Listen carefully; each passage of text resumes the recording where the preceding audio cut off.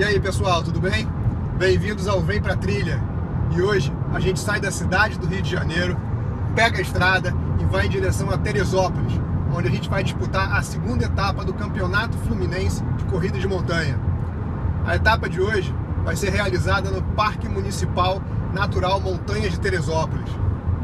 Vem com a gente, vem pra estrada, vem pra trilha.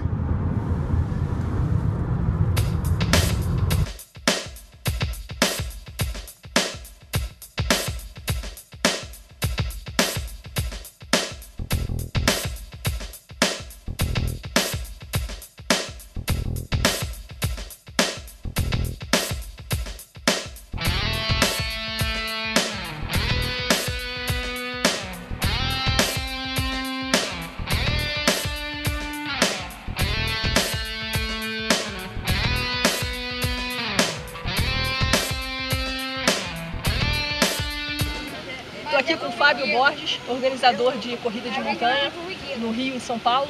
Fábio, como é que é organizar a corrida? Bem, a corrida de montanha é pioneira na, na organização de, de, corridas de montanha no Brasil. Desde 2004 que a gente organiza corridas, são mais de 12 anos. A gente acompanhou toda a evolução da corrida de montanha.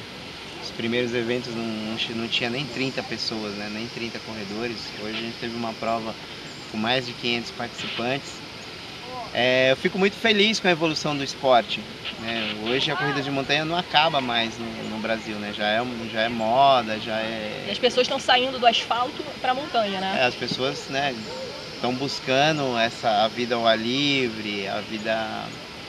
Né, a corrida de maior desafio, só que com a mesma, ainda com a mesma cabeça da corrida de rua, né? Então sem muito cuidado, que recado você quer dar para o pessoal que está assim, vindo do hoje, asfalto para a montanha? Hoje um, um amigo nosso, atleta, ele trouxe ele sozinho, no corpo dele, nos bolsos. Então dizer que o cara não consegue carregar o lixo dele é impressionante. Pô, é muito lixo que a galera jogou na trilha.